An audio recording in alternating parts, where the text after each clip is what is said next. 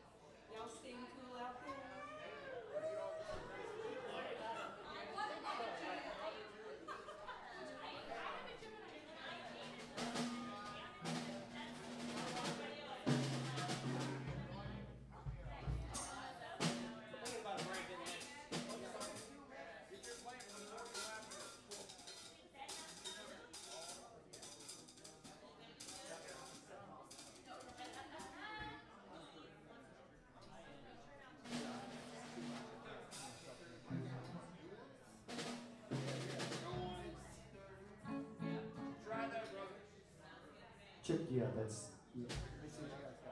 Check, check, check.